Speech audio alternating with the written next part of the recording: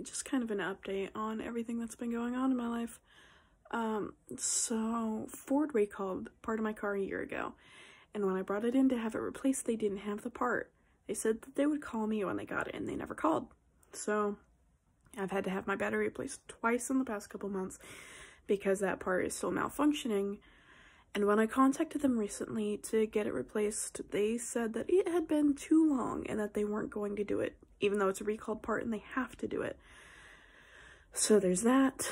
So now I am waiting for my local place to get a hold of them to get the part for me so that they can talk it out.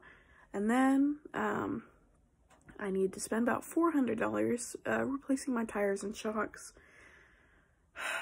So there's even more stress coming out that way just because with my shocks and tires being as bad as they are right now, there's no way I'm going to be able to drive long distance for work. So I can only pick up stuff nearby, which kind of sucks because I live in a small town and there isn't a lot of stuff nearby work-wise for me. Um, I'm working on Thursday so far and that's it. Um, so there's that. And then there's my bank that you recently combined with another bank. And apparently there's been a lot of changes that I didn't know about. In the past month, they have charged me eight times in fees. And it's $29 every time. So they've charged me over $200 in fees that I wasn't even aware of without ever once informing me of what was happening. So now I have negative money in my bank account. I have my car to worry about that's really stressing me out.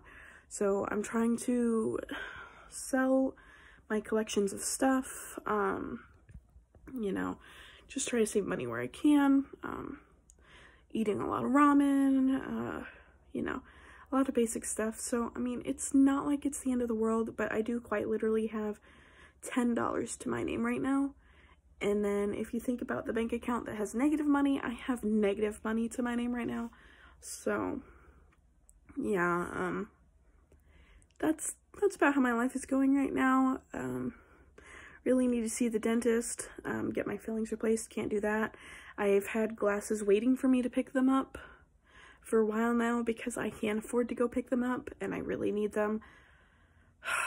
I just got my recertification for CPR. That cost money. Um, had to go get a second COVID test for my job. That costs money.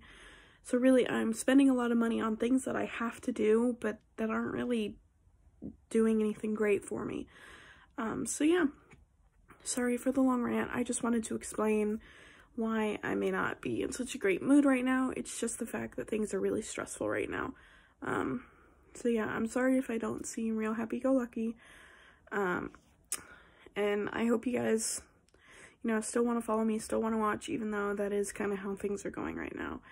And yeah, I'll see you guys later. Bye.